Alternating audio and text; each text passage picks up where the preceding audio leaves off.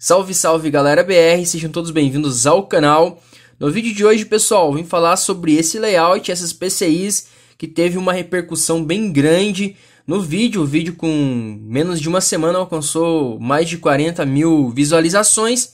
Eu vim falar sobre o PCI que eu fiz invertido, né, galera? Que vergonha, um cara tão velho como eu em eletrônica fazer um farelo. Só que não, né, pessoal? Vamos lá então, que eu vou explicar aqui, pessoal, por que que parece que esse layout ele ficou invertido.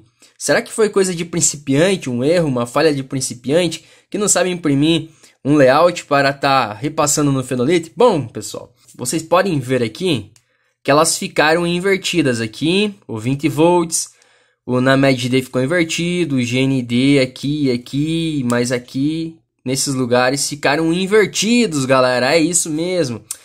Cara, se ele ficou invertido aqui, é sinal que tá errado. Aqui ficou invertido, aqui também, aqui também, aqui também, galera. Cara, esse cara é um principiante, um cabação, não sabe fazer PCIs.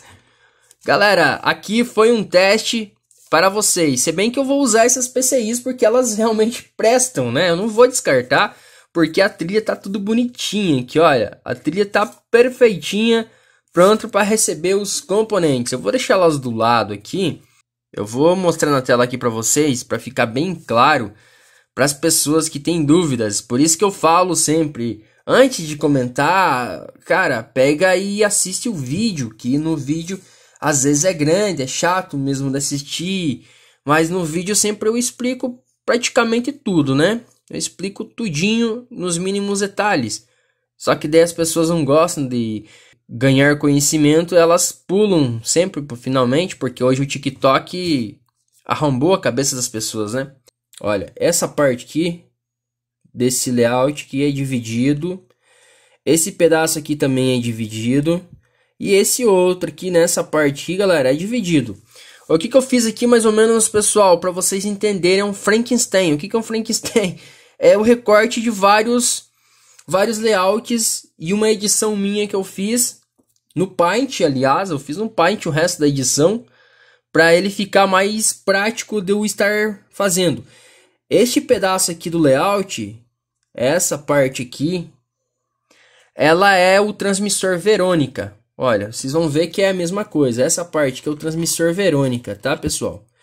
Esse layout do transmissor Verônica, essa parte aqui, ela está certa, ela está na posição correta. A partir que eu passo essa parte aqui, ele vai estar pronto para eu soldar os componentes. Basta eu furar com a perfuradora ou uma furadeirinha aqui.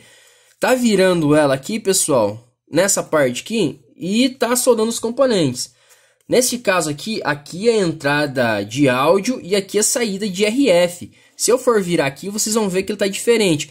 Aqui é a entrada de áudio, aqui é a saída de RF nessa parte aqui. Então, se eu inverter aqui, galera, olha, entrada de áudio, saída de RF, sinal, beleza? Tá perfeito, pessoal. O layout não está errado. Já falei então que essa parte que ela está certa, ok?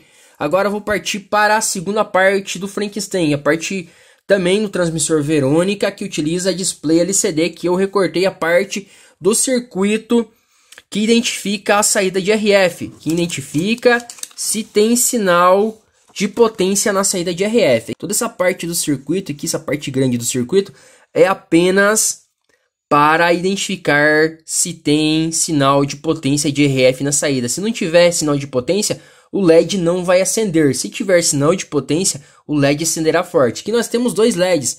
Tem um LED que vai aqui e outro LED que vai aqui. O primeiro LED é um LED Power, quando você liga o circuito, ele vai acender. O segundo LED é o sinal de RF. Se ele tem potência na saída de RF, esse LED ele irá acender. Vocês entenderam? Se tem sinal de RF, o LED vai acender. O primeiro ele vai acender independente se o circuito estiver ligado. Já o segundo LED, que é o de potência de RF, ele só vai acender quando tiver potência de RF. Se porventura a saída estiver queimada, o LED não acende. Daí você já tem como identificar se tem problema na saída ou não.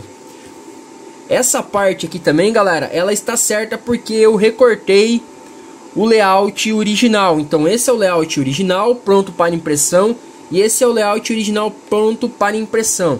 Só que as pessoas elas se confundiram porque aqui eu digitei GND, GND, GND, o nome do meu canal, a voltagem e a saída de RF, RF out. Eu deveria ter escrito espelhado, galera, aqui, para que quando eu passasse no fenolite, ficasse escrito GND de forma correta, 20 volts, RF out e na MED também ficasse certo. Mas única coisa que tá errado aqui, galera, é a escrita. O resto tá certinho. Recapitulando, essa parte é do esquema original, pronto para impressão. Essa outra parte é um recorte também do Verônica PLL com display LCD original, também pronto para impressão. E a partir disso, pessoal, eu fiz a ligação da etapa de RF. E a partir do original, fiz a etapa de RF. Esse ele vai conseguir excitar a etapa de RF de até 10 watts. Então aqui, pessoal, é a etapa de RF, ok? Eu fiz nesse fenolite aqui, pessoal, de 10 por 10 para estar tá utilizando ele, porque o cara que me vendeu, ele me vendeu errado a primeira vez. Eu tinha encomendado 15 peças de 10 por 15, né? Ele ia ser maior, só que o vendedor tinha me mandado 15 peças de 10 por 10. Errado, né?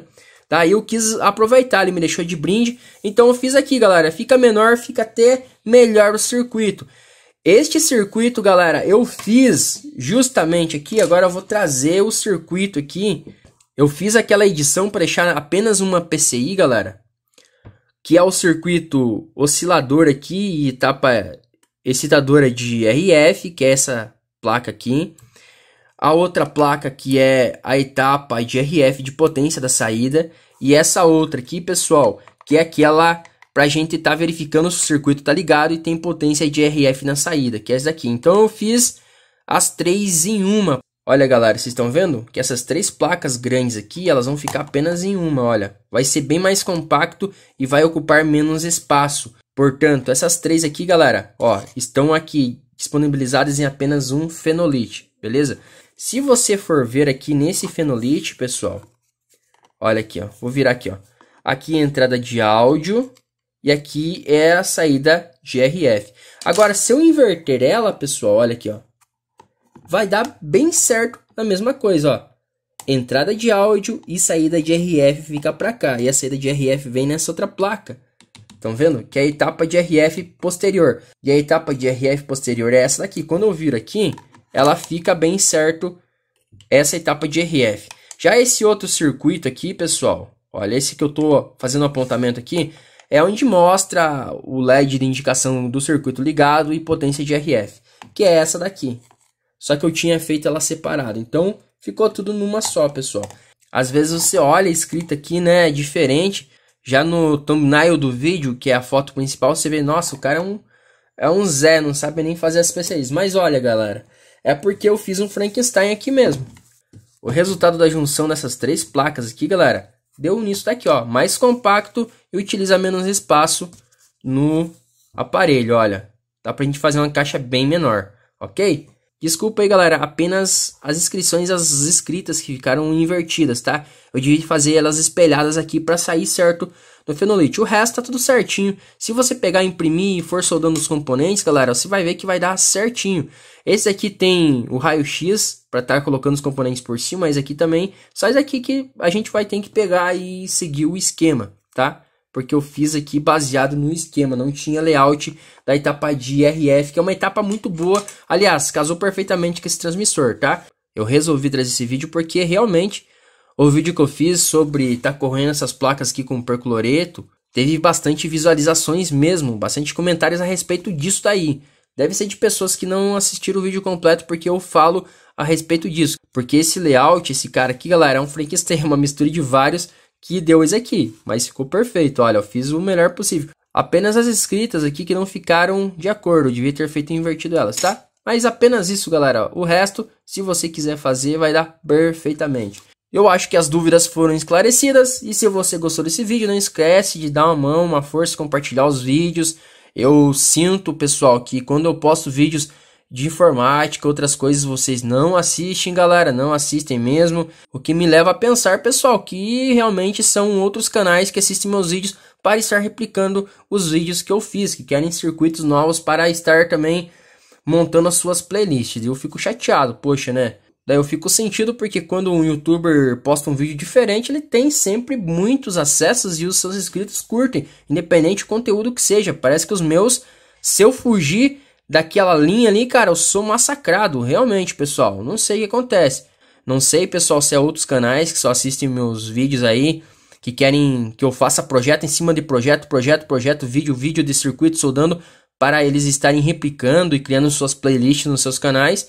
Mas o que passa na minha cabeça é isso, porque quando outro youtuber posta conteúdos diferentes do que ele é acostumado, sempre tem muitas visualizações. É estranho, muito estranho. E quando eu posto conteúdo diferente que eu sou acostumado a postar, galera, não dá 1% das visualizações que eu posto. Daí não adianta dizer que é porque eu tô fugindo do, do assunto que é específico do meu canal, não, porque eu tenho, cara, vídeo de tudo que é tipo de coisa no meu canal, não só de eletrônica, de carro foi o que eu assim, de longe é que eu tenho mais acesso, né? Estranho.